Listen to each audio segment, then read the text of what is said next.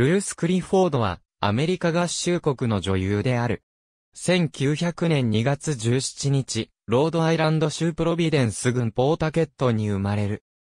満15歳となった1915年4月9日に公開されたエジソンカンパニー制作、チャールズ・ブレービン監督の短編映画ザ・ストニングに脇役で出演して映画界にデビューする。1916年、ユニバーサル・フィルム・マニュファクチュアリング・カンパニーに入社。同年に、ユニバーサルが、参加に設立した、子会社、ブルーバード映画で、ヘンリー・マックレー監督、イーディス・ジョンソン主演の、先人に出演する。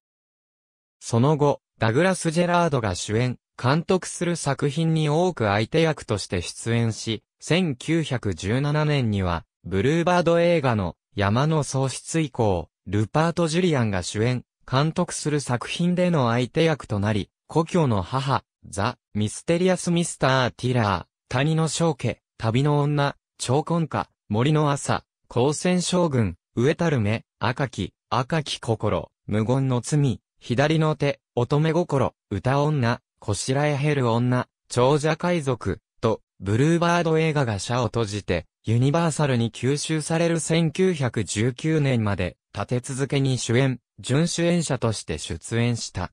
一作を除いてすべて日本でも公開されている。1921年にはユニバーサルを退社、ショープロダクションに出演するようになる。1924年、ジェームズ・ A・コーネリアスと結婚、その後長男を設ける。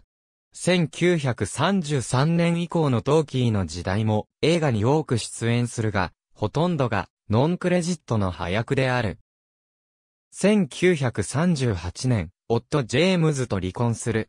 第二次世界大戦後も早く俳優として、満66歳の老境を迎える1966年まで、映画、テレビ映画を問わず出演した。1998年11月30日、カリフォルニア州ロサンゼルス市、ウッドランドヒルズで、老衰のため死去した。満98歳没。同州カルバーシティにある、ホーリークロス墓地に眠る。すべて出演作である。